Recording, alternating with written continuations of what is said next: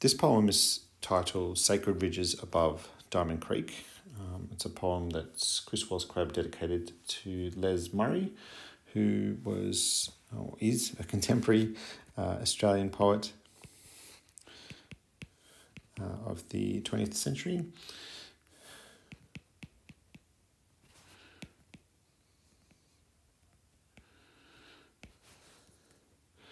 And the the title itself um,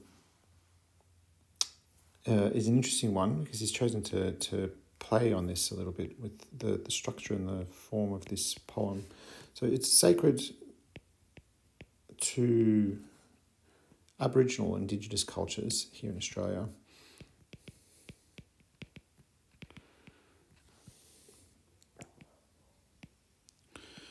And what he's done, however, with the poem itself is uh, structure it in a format that actually alludes to uh, Christian uh, biblical texts.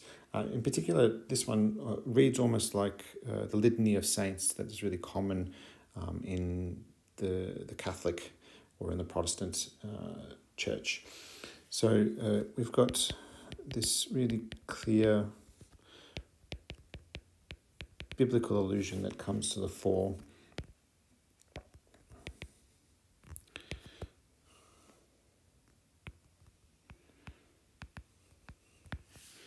Um, and in particular, structured in the way that it um, includes the starts of each of the lines with two, two, two, as if it's referencing each of those different groups um, and listing them out um, in praise. The poem uh, is one continuous um, structure, so we don't have uh, different sections that are clearly discernible. He works his way through, um, and as the, the poem progresses, um, there's different references to both um, Australian native culture, but also um, the colonial element that is now part of this country's history. He begins I want to make some kind of gesture of alien response, response no longer alien, response finding its feet. So, a really interesting opening just to start off with. Um, a gesture of alien response. This alien response is, is alien because of the fact that he himself, as a, a migrant, as somebody who's come from uh, Great Britain, is alien to the native Australia. And so he's, he's referencing this in the broader context of most of the people who live here.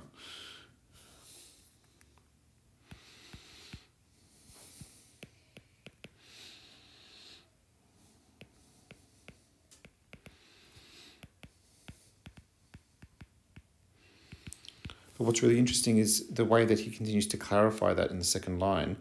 You know, a, response no longer alien because now we've been here for a couple of hundred years. A response finding its feet.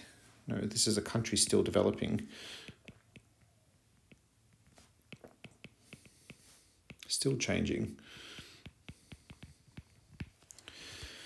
Salute with my feet and my hands and heart to the totem beasts by whose names this distinct district was patched and pieced like a tartan. And then we begin this list that he uh, starts to go through of the native um, native animals and the flora and the fauna. And it is it's this catalogue almost of Australiana that we have and it occurs in a couple of different spots throughout this poem. He says to echidna, formed like a child's drawing from an of an explosion, to dingo, long driven away by Mr. Fox in his red hunting coat. So this allusion here to um, to the British upon their arrival.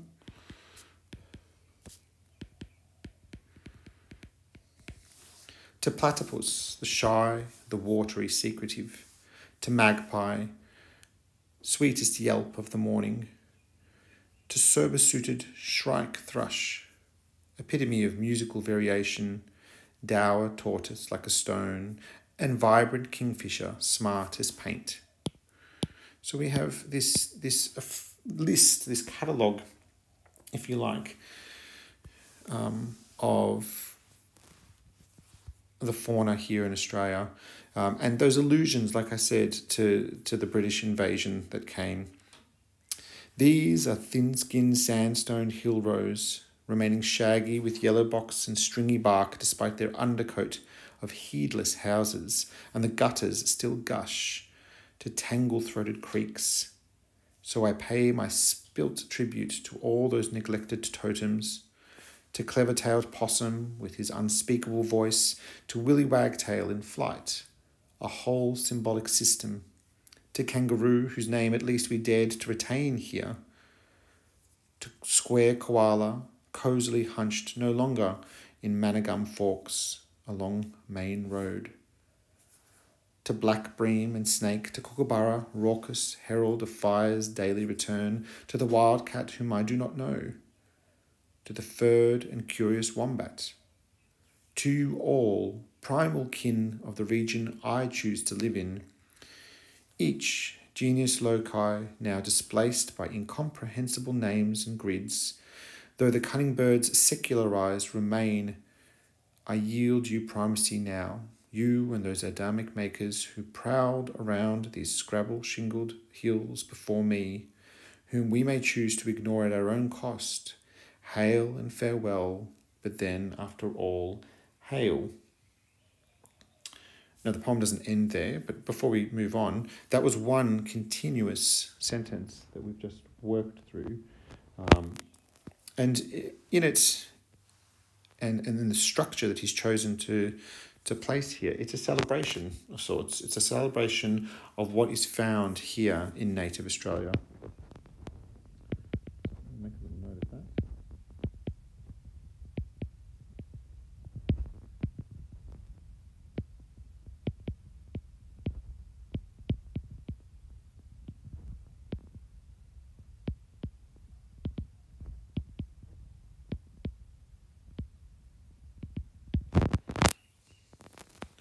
And the fact that it is this this non-stop flow in terms of syntax is it's this this outpouring of tribute which we can see in the in the way that he's structured the poem in this part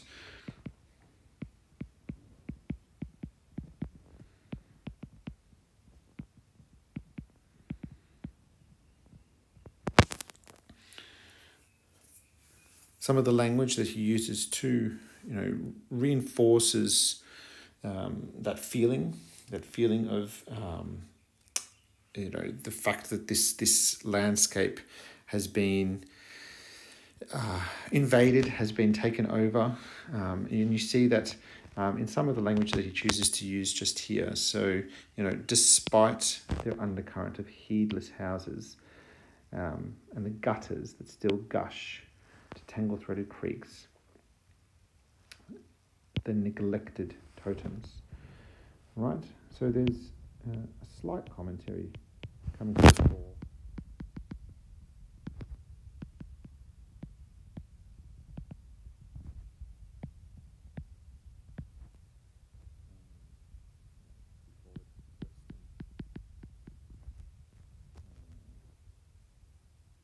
invasion or civilization.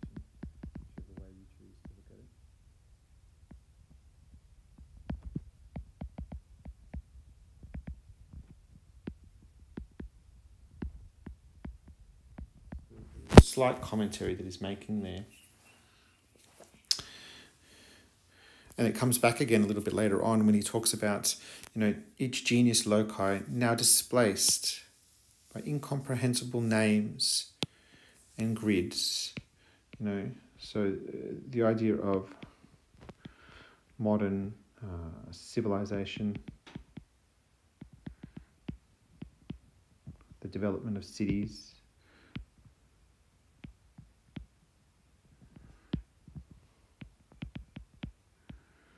but also uh, the fact that in some of our major capitals, we have not chosen to continue using the Indigenous names, but have replaced them with essentially British names.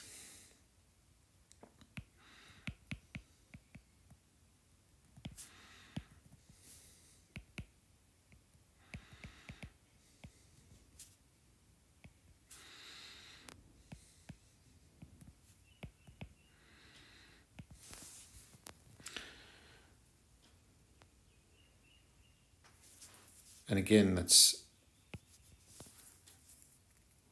alluded to even in this sort of terminology here, where he says it's been secularized. The traditional heritage has been replaced. But his position in all of this is really clear. You know, I yield you primacy now.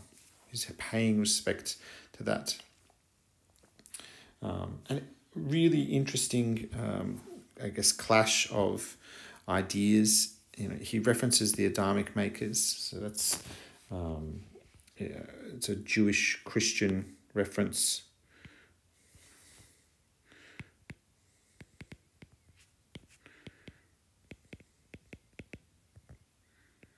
To the to the first peoples.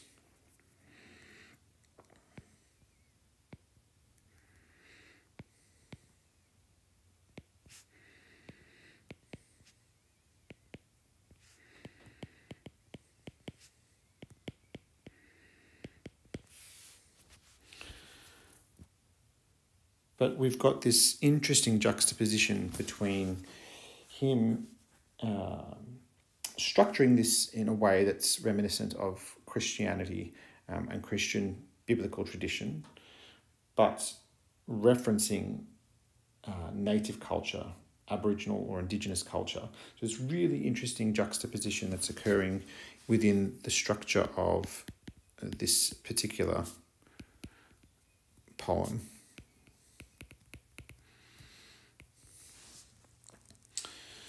The fact that he chooses to end this second last section with uh, these statements here, whom we may choose to ignore at our own cost, hail and farewell, but then after all, hail, is uh, quite the political statement that he's making.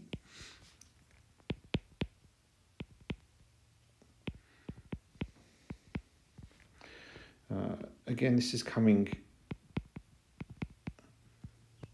at a time when there is a lot of discourse around Indigenous rights um, and acknowledging the, the First Nations people of this country.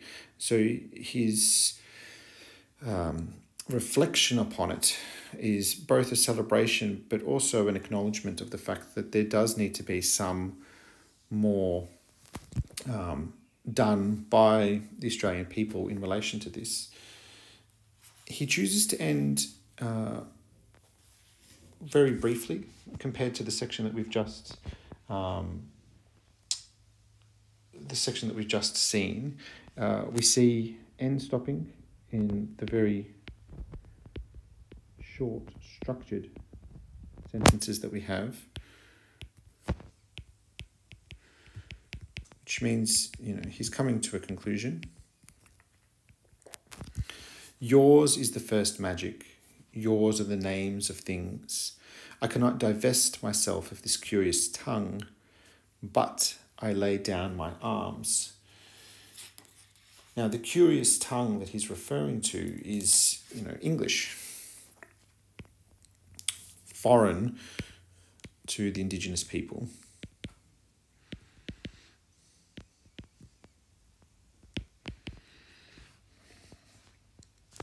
Um, and the, the statement at the end, but I lay down my arms, it's, it's um, a colloquial term. It, it, it implies surrender, but it also implies um, or alludes to the fact that the entry of the colonial empire into this country was a very bloody one. And so it has uh, quite a lot of uh, connotation to it, that last statement. Overall, though, Chris Wallace Crabbe is alluding to the fact that we can't really change the colonial history of this country. Um, it's happened. What the poem, in and of itself, looks at more so, I think, is that we can at least acknowledge what came before. We can celebrate what came before in terms of the cultural heritage of Australia and move towards doing that more so than we are now. And so that's the poem Sacred Ridges above Diamond Creek by Chris Wallace Crabbe.